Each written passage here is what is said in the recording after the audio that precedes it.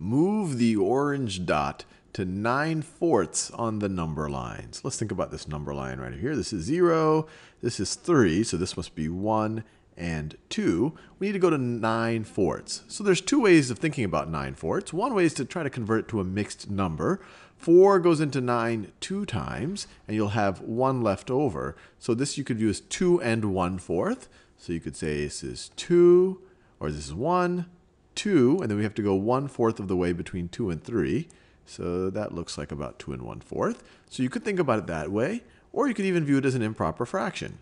So let's go by fourths. So that's 1 fourth, 2 fourths, 3 fourths, 4 fourths, which is a whole, 5 fourths, 6 fourths, 7 fourths, 8 fourths, which is equal to 2 wholes. 8 divided by 4 is 2. And then we go from 8 fourths to 9 fourths. Either way, we get to that exact same point on the number line. Let's do a few more of these. Move the orange dot to 11 fifths on the number line. So we can do it both ways again. 5 goes into 11 two times, and then you have 1 left over. So you could call this 2 and 1 fifth. So we could go 1, 2, and then 1 fifth. Or we could just think of it in terms of fifths as an improper fraction.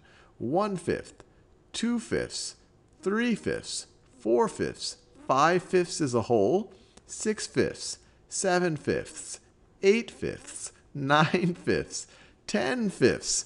10 divided by 5 is 2. 10 fifths is 2 wholes. 10 fifths and 11 fifths. I'm having more fun than I expected to with this exercise. Let's do one more. Orange dot to 5 halves on the number line. So this is 1 half, this is 2 halves, which is a whole. This is 3 halves, this is 4 halves, which is 2 wholes. This is 5 halves. Another way you could have thought about it, 2 goes into 5 two times with a remainder 1. So this is 2 and 1 half as a mixed number. 1, 2, and 1 half as a mixed number.